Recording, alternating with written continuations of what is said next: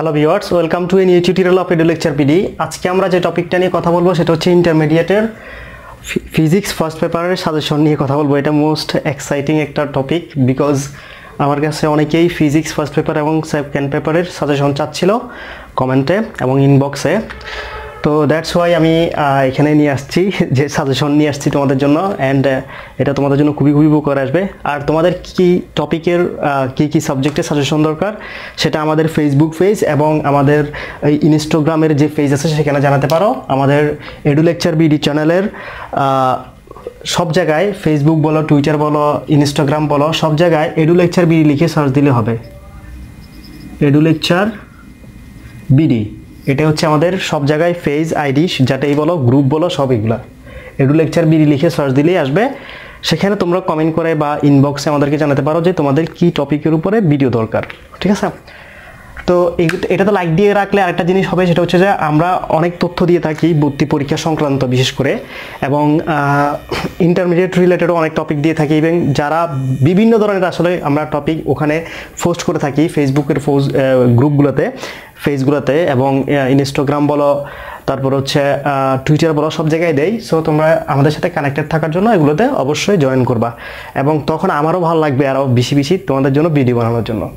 তো আমরা চলে যাচ্ছি মূল টপিকে আমাদের সাজেশন পার্টে আমি একটু টাইম বেশি নিব এই ভিডিওতে বিকজ ফিজিক্স বুঝতেছ সব কিছু ক্লিয়ার করে দেওয়া লাগবে তোমাদেরকে। তো একটু ধৈর্য ধরে ভিডিওটা দেখবা, আশা করি, এবং ভালো লাগবে। আর হচ্ছে যে, যারা এখনও নতুন আমাদের চ্যানেলে সাবস্ক্রাইব করবা। তো আমরা চলে যাচ্ছি টপিকে আমি প্রথম যে চ্যাপ্টারটা ফিজিক্স ফার্স্ট পেপারের সেটা এখানে নিয়ে আসি নাই বিকজ সেখান থেকে কোনো ধরনের সিকিউ কোশ্চেন আসবে না।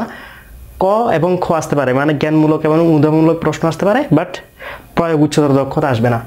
তো দ্যাটস আমি যেহেতু প্রয়োগ উচ্চতর দক্ষতা ওখান থেকে আসবে না, ওই চ্যাপ্টারটা নিয়ে আলোচনা করতেছি না। আমরা দুই দিয়ে চলে যাচ্ছি চ্যাপ্টার সরাসরি, দুই থেকে কী কী ধরনের কোশ্চেন আসতে পারে সেটা বলে দিচ্ছি এবং ওই টপিকগুলো তোমরা সিকিউর জন্য সিকিউ মানে হচ্ছে সি অ্যান্ড ডি এর জন্য, অর্থাৎ প্রয়োগ এবং উচ্চতর দক্ষতার জন্য পড়বা। প্রথমে হচ্ছে যে ব্যাক্টরের মধ্যে তোমরা ব্যাক্টর ডেফিনিশনগুলো ভালো করে জানবা বিকজ ডেফিনিশন না জানলে তুমি আবার ওই কাজগুলো করতে পারবে না ম্যাথ করতে পারবে না। তারপর হচ্ছে সামান্তরিক সূত্র, যেটাকে বলা হয় ল অফ প্যারালোগ্রাম এবং যারা ইংলিশ মিডিয়ামের স্টুডেন্ট, তাদের জন্য আমি এবার টার্মগুলোকে ইংলিশে বলতেছি। অ্যান্ড ব্যাক্টর মাল্টিপ্লিকেশন বা ভ্যাক্টর গুণন, cross product and dot product. Cross গুণন, ডট গুণন, দুইটাই তোমাদেরকে জানা লাগবে। এবং cross product, dot product related অনেকগুলো ম্যাথ আছে, এই ম্যাথগুলোকে সলভ করা লাগবে। এবং প্যারালোগ্রামের যে ল বা সামান্তরিক সূত্রের যে ল, এখান থেকে তোমাদেরকে নৌকার অঙ্ক দিবে, নদীতে। নদী থাকবে, ঠিক আছে? নদীর এপার পার থেকে ওই পারে সোজাসুজি একজন মাঝির যেতে গিয়ে সে এখানে চলে আসলো। তো এখানে কোন জিজ্ঞেস করতে করতে পারে, ব্যাগ জিজ্ঞেস করতে পারে, কত কোণে সে রওনা দিলে এখানে আসতে পারতো, এগুলো জিজ্ঞেস করতে পারে। দ্যাট মিনস নৌকা রিলেটেড ম্যাথ যেটা ব্যাগটা সূত্র থেকে আসবে ব্যাক্টরের সামান্তরিক বা প্যারালোগ্রামের ল থেকে আসবে, ঠিক আছে? সামান্তরিক সূত্র বা প্যারালোগ্রামের যে ল আছে সেখান থেকে আসবে। সো তোমরা বুঝতে পারতেছো যে এই, এইটা, এই এই ধরনের উদ্দীপকরা যে প্রশ্নগুলো আছে, এগুলো সবগুলো পড়বা টেস্ট পেপারে ঠিক আছে? আমি আমি যেগুলো বলতেছি, এগুলোর কষ্ট করে টেস্ট পেপার দাগাই ফেলবা তোমরা। টেস্ট পেপারে যখন দাগাবা তখন তোমাদের ইজি হয়ে যাবে ব্যাপারটা। ভেক্টর মাল্টিপ্লিকেশন তো বললাম গ্রেডিয়েন্ট শিখবা ডাইভারজেন্স শিখবা অ্যান্ড কল শিখবা। আর একটা জিনিস ভেক্টর চ্যাপ্টারে যত ম্যাথ আছে সব ম্যাথ একটাও বাদ দেওয়া যাবে না বিকজ এমসিকিউ সিকিউ দুই জায়গায় ম্যাথগুলো আসবে।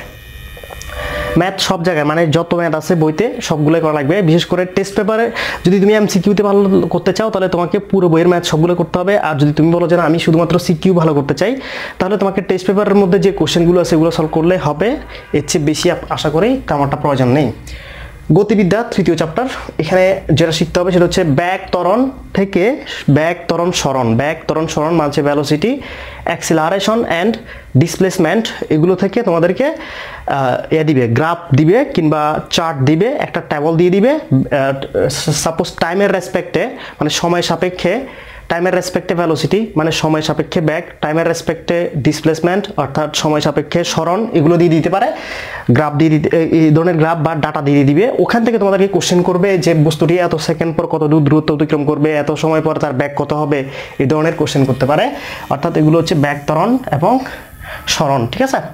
তারপর হচ্ছে পরন্ত বস্তু বা পলিং বডি ফলিং বডি এবং পরন্ত বস্তু থেকে ম্যাথ আসতে পারে। ইভেন উচ্চ উদ্দীপক বা স্টেমও আসতে পারে। প্রাস দ্যাট মিনস প্রজেক্টাইল প্রজেক্টাইল থেকে আসার সবচেয়ে সম্ভাবনা বেশি। এটা থেকে আসার সবচেয়ে সম্ভাবনা বেশি প্রাস যেটাকে ইংরেজিতে প্রজেক্টাইল বলে। এখান থেকে আসার সম্ভাবনা বেশি। এখান থেকে বিশেষ করে খেলার ইয়া দিবে, উদ্দীপক দিতে পারে যে সাকিব আল হাসান একটা বলকে ব্যাট দিয়ে কিক করল। এটা মালিঙ্গার মাথার উপর দিয়ে গিয়ে ছক্কায় পরিণত হলো, ঠিক আছে? তারপরে বলব তার মাটির সাথে যে কোণ নিয়ে সেই বলটাকে কিক করছে ব্যাট দিয়ে, সেটা দেওয়া থাকতে পারে থার্টি ডিগ্রি এবং বল যে কোন উপর দিকে, যে ব্যাগ নিয়ে উপরের দিকে উঠতেছিল, অর্থাৎ বলের আদি ব্যাগ সেটা সাপোজ চল্লিশ মিটার পার সেকেন্ড এভাবে অনেক কিছু দেওয়া থাকতে পারে। তোমাকে বিভিন্ন ধরনের তথ্য এখান থেকে জিজ্ঞেস করতে পারে। সো এই প্রজেক্টাইল বা প্রাস রিলেটেড টেস্ট পেপারে যত প্রশ্ন আসে, সবগুলো সলভ করবে, তাহলে বুঝে যাব আমি কি বলতে চাচ্ছি। সো প্রাস এবার আমরা চলে যাচ্ছি পরবর্তী চ্যাপ্টারে চ্যাপ্টার নাম হচ্ছে নিউটনীয় বলবিদ্যা আর নিউটনিয়ান মেকানিক্স ঠিক আছে? অ্যান্ড এটাকে বলা হয় এটা এটা গতিবিদ্যা মানে হচ্ছে যে তোমার এটাকে ডিনামিক্স বলে কি একটা জানি, আমি এক্স্যাক্টলি মনে নেই ইংরেজিটা।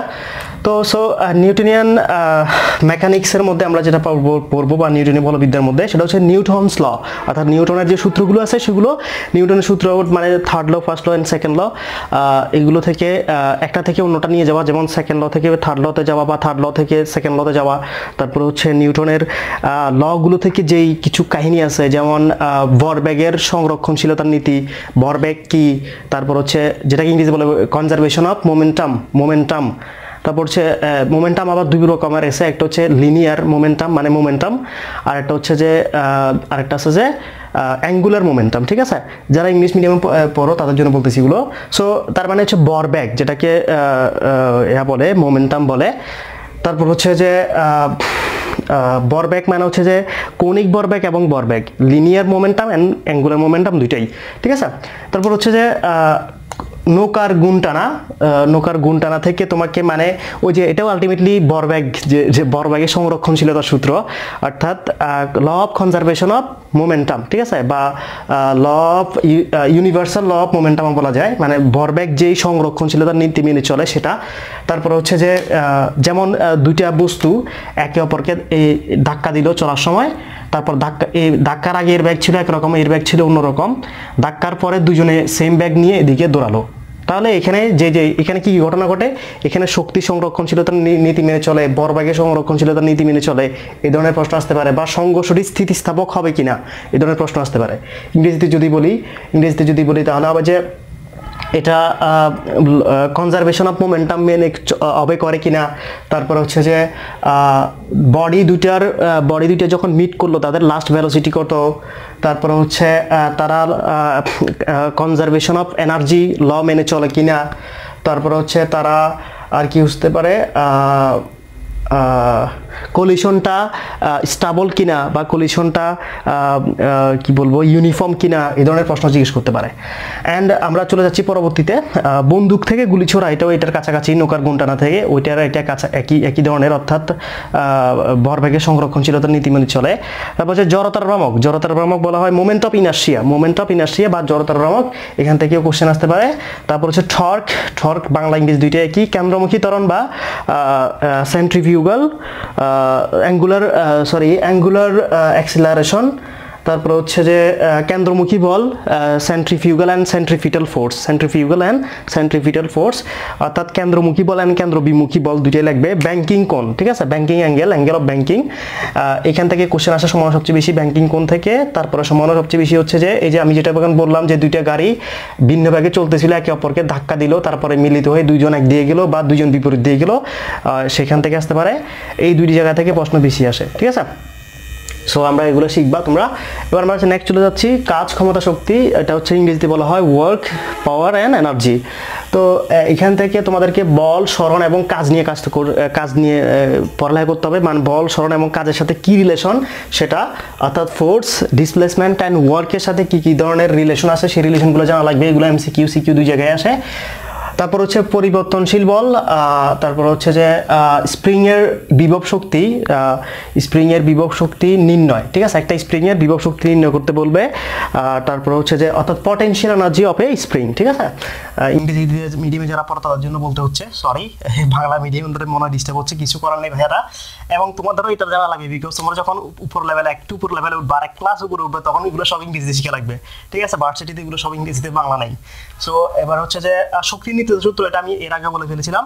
শক্তি নিত্যতার সূত্র মানে হচ্ছে law of conservation of energy তারপর হচ্ছে সংরক্ষণশীল ও অসংরক্ষণশীল বল। এই দুইটা আমাদেরকে শিখা লাগবে। তারপর হচ্ছে যে এই দুইটা পার্থক্যটা ক্ষতে আসতে পারে এই জন্য অ্যান্ড এখান থেকেও কোশ্চেন হতে পারে যে বলটি সংঘর্ষটি বলটি সংরক্ষণশীল কিনা? এই ধরনের প্রশ্ন তেমনটা আসে না। এখানে যেটা সবচেয়ে বিশেষ শক্তির নীতিতা সূত্র। স্প্রিং বিভশক্তি পরিবর্তনশীল বল, ঠিক আছে? এগুলো বেশি আসে অ্যান্ড পাওয়ার থেকে আসে, ক্ষমতা। যে সাপোজ বলব যে অয়নের কেজি পঞ্চাশ কেজি, সে বিশ কেজি ওজনের ইট নিয়ে পঞ্চাশটি সিঁড়ি বেয়ে পাঁচতলায় উঠল, ঠিক আছে?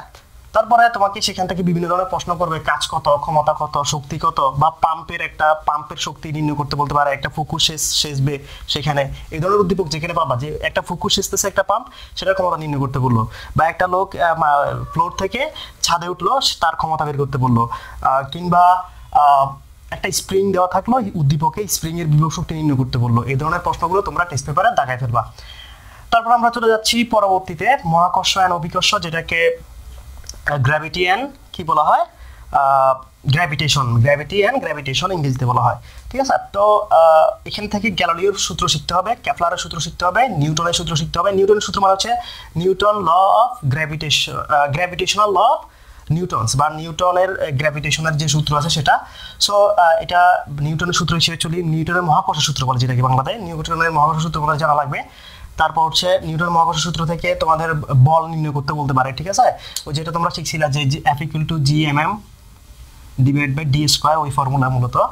তো নিউটন সূত্র বলে যেটাকে জি এর মানের পরিবর্তন। পৃথিবীর আকৃতির কারণে পৃথিবী থেকে, পৃথিবীর গভীরে মানে ভূপৃষ্ঠ থেকে নিচের দিকে এবং ভূপৃষ্ঠ থেকে উপরের দিকে জি এর মানের বিভিন্ন কারণে পরিবর্তন হয়। সেই পরিবর্তনগুলো তোমাকে জানা লাগবে এবং এই রিলেটেড অঙ্ক আসবে এক্সামে ঠিক আছে? সাপোজ তোমাকে এই- যে এগুলো তো এখন দরকার নাই সো আমি এগুলো একটু মুছে দিচ্ছি। এগুলো যেহেতু দরকার নেই। সে সাপোজ তোমাকে দিয়ে দিল, এটা হচ্ছে আর্ট এটার এটার উপরে এখানে জি এর মান হিসাব করতে বলল বা ভেতরে জি এর মান হিসাব করতে বলল বা এটা হচ্ছে আর্ট এটা হচ্ছে এভারেস্ট ঠিক আছে? তো এভারেস্টের উপরে জি এর মান কত হিসাব করতে বলল? এই ধরনের কোশ্চেন দিতে পারে।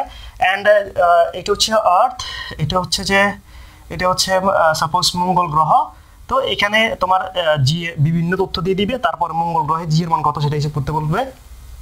ইভেন আর্থের মুক্তি ব্যাগ যেটাকে স্কেপ ভ্যালোসিটি বলে ইংরেজিতে, সেটা বের করতে বলতে পারে। কৃত্রিম উপগ্রহ মানে স্যাটেলাইট স্যাটেলাইট সম্পর্কেও কোশ্চেন করতে পারে। এখানে একটা পৃথিবী দিবে, পৃথিবীর পাশে এখানে একটা স্যাটেলাইট দিয়ে দিবে। সেখানে বিভিন্ন ধরনের কোশ্চেন করতে পারে উদ্দীপক থেকে। তারপর হচ্ছে মহাকর্ষ বল, যেটাকে বলা হয় প্রাবল্য বিভব। মহাকর্ষ বল, প্রাবল্য বিভব, এগুলো আসতে পারে। তো এখানে সবচেয়ে বেশি যেটা সেটা হচ্ছে স্কেপ ভ্যালোসিটি মুক্তিবেগ কৃত্রিম উপগ্রহ বা স্যাটেলাইট জি এর মানের পরিবর্তন।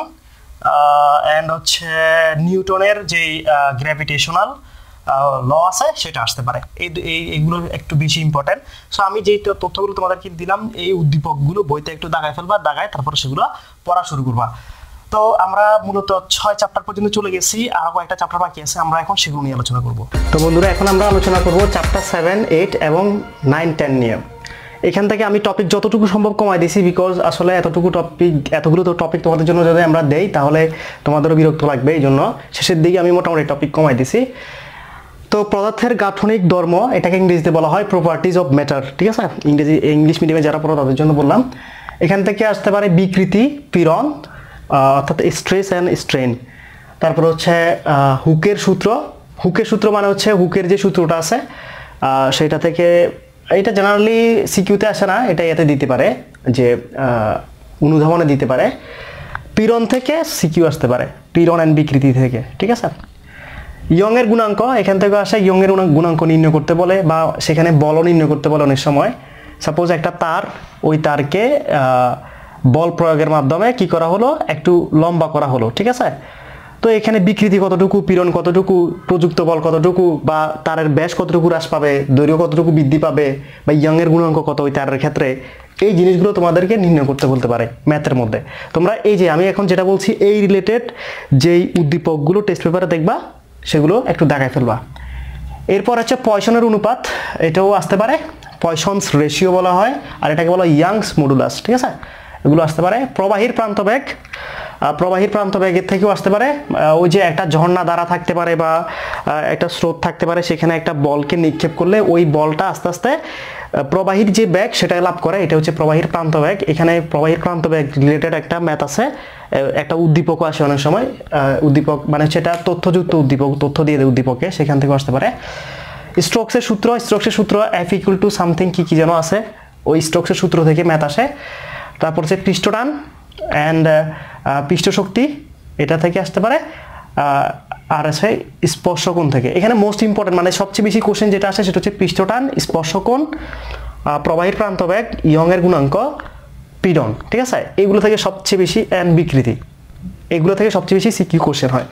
সো এই চ্যাপ্টারে আশা করি তোমাদের কোনো সমস্যা হবে না এবং সবচেয়ে মজার বিষয় হচ্ছে এই চ্যাপ্টার পড়া সবচেয়ে কম, কিন্তু ফলাফাইন এই চ্যাপ্টারটাকে কঠিন মনে করে পড়ে না। এই চ্যাপ্টারে পড়া অত্যন্ত কম এবং খুব তাড়াতাড়ি এই চ্যাপ্টার পড়া রিভাইজ দেওয়া যায়। তোমরা যারা অন্য চ্যাপ্টারগুলো নিয়ে অনেক সময় দিচ্ছ, তাদেরকে আমি বলব যে এই দিকে, শেষের দিকে সময় চ্যাপ্টারগুলোতে সময় দাও। বিকজ শেষের দিকে চ্যাপ্টারগুলোতে টপিক কম এবং গুরুত্বপূর্ণ টপিক বেশি। মানে গুরুত্বপূর্ণ টপিকটা আইডেন্টিফাই করা যায় যে এই টপিকটাই গুরুত্ব, এটাই বেশি পরীক্ষা আসে।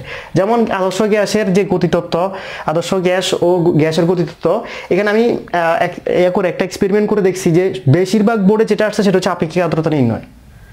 তারা দেখো শেষের দিকে মোটামুটি ইম্পর্টেন্ট টপিক কোনটা বলে দেওয়া যাচ্ছে বাট ফার্স্টের দিকে যে চ্যাপ্টারগুলো সেগুলোতে ইম্পর্টেন্ট টপিক বলা অত্যন্ত কঠিন। যেমন ব্যাক্টর ব্যাক্টর কী আসবে, এটা বলা একদমই কঠিন। গতিতত্ত্ব, গতিবিদ্যা, সেখানেও বলা কিন্তু একটু একদম কঠিন। বাট এদিকে তেমনটা কঠিন না, সহজ। তো এই- চ্যাপ্টার যেহেতু আমি বলতেছিলাম, এটা বলে দিই। আদর্শ গ্যাস ও গ্যাসের গতি তথ্য থেকে যে আসতে পারে, আপেক্ষিক আর্দ্রতা নির্ণয়। সাপোজ চিটংয়ের বিভিন্ন তথ্য দেওয়া থাকবে। চিটংয়ে একটা হাইগ্রোমিটারের মধ্যে শুষ্ক বাল্ব এবং সিক্ত বাল্বের মধ্যে যে টেম্পারেচার সেগুলো দেওয়া থাকতে পারে।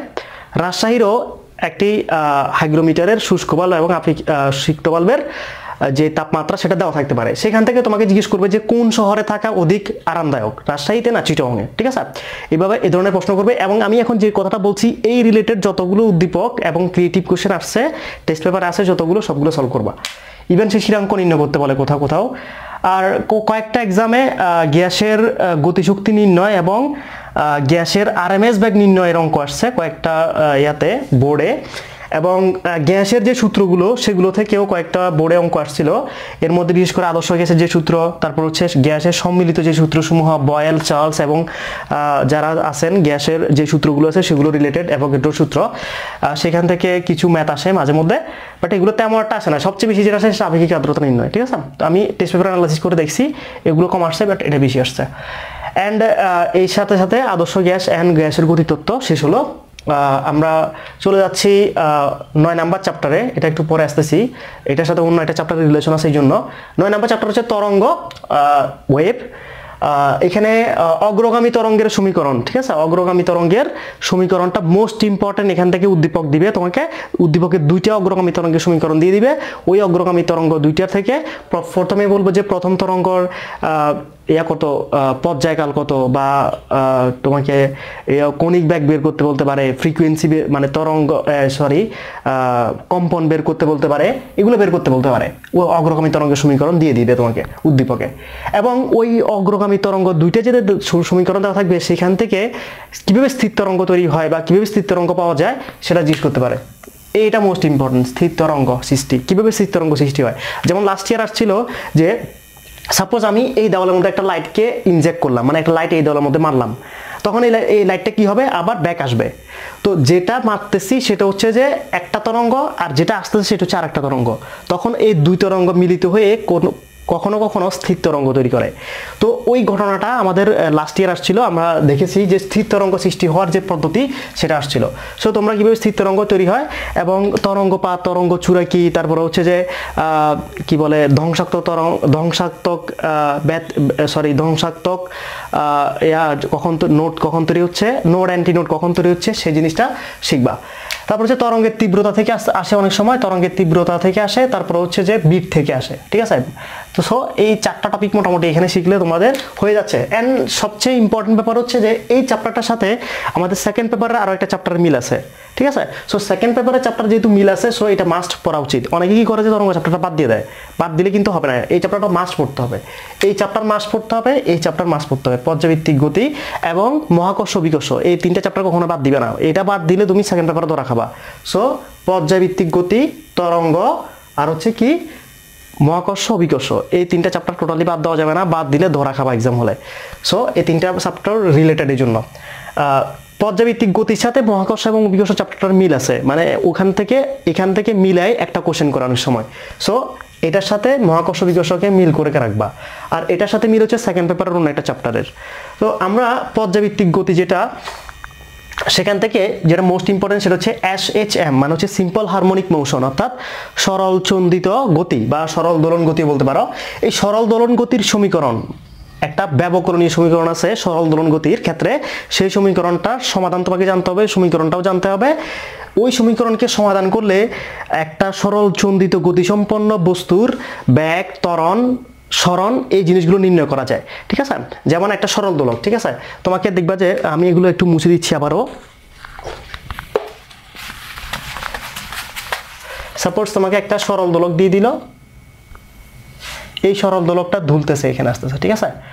তো এটার এই সাম্য অবস্থানে ব্যাগ কত, ত্বরণ কত, স্মরণ কত, এখানে ব্যাগ কত, ত্বরণ কত, স্মরণ কত, এখানে ব্যাগ কত, ত্বরণ কত, স্মরণ কত, এই জিনিসগুলো তোমাকে জিজ্ঞেস করবে। কারণ এই সরল দোলকটা আসলে কি? সরল চন্দিত গতিতে আছে এই জন্য, ঠিক আছে? এবং এখান থেকে তোমাকে আবার এটা সংরক্ষ, শক্তি সংরক্ষণশীলতার নীতি মেরে চলে কিনা, বা এখানে বিভব শক্তি কত, এখানে গতিশক্তি কত, তারপর হচ্ছে বা এটা এখান থেকে আবার মহাকর্ষ, বিকর্ষ মিলে দিতে পারে, ঠিক আছে? এই জিনিসগুলো আসতে পারে। সো সরল দোলকের ক্ষেত্রে তরণ স্মরণ, ব্যাগ নির্ণয়, এবং এই চ্যাপ্টারের সাথে যেহেতু মহাকর্ষ, বিকর্ষ চ্যাপ্টারে মিল আছে সেই ক্ষেত্রে তোমাকে সরল দোলকের ক্ষেত্রে জি এর মান নির্ণয়, বা পর্যায়কাল নির্ণয় এই ধরনের অঙ্ক দিতে পারে। পর্যায়কাল বা জি এর মান নির্ণয়, ঠিক আছে? তো আমরা জানি সরল দোলক একটা সূত্র মেনে চলে, সেটা হচ্ছে T equal to two pi root over L by G ঠিক আছে? এই সমীকরণটার সাথে মহাকর্ষ চ্যাপ্টারটা মিল আছে বিকজ এখানকার জিটা তোমার একটা অভিকর্ষ ত্বরণ, এটা পৃথিবীর বিভিন্ন জায়গায় ভিন্ন ভিন্ন রকম হচ্ছে। সো যেহেতু ভিন্ন ভিন্ন রকম হচ্ছে, ভিন্ন ভিন্ন জায়গায়, তাহলে সরল দোলকেরও দোলনকালটা ভিন্ন ভিন্ন হবে। দ্যাট মিন্স এই চ্যাপ্টারের সাথে অভিকর্ষ এবং মহাকর্ষ চ্যাপ্টারের মিল আছে। এবং আরেকটা মজার বিষয় হচ্ছে, এই পর্যাবৃত্তিক গতি যে চ্যাপ্টার এই চ্যাপ্টারের সাথে তরঙ্গ চ্যাপ্টারটারও মিল আছে মোটামুটি। এই জন্য আমি বলছি যে, পর্যাবৃত্তিক গতি, তরঙ্গ, মহাকর্ষ বিকর্ষ এই তিনটা চ্যাপ্টার কোনো অবস্থায় বাদ দেওয়া যাবে না।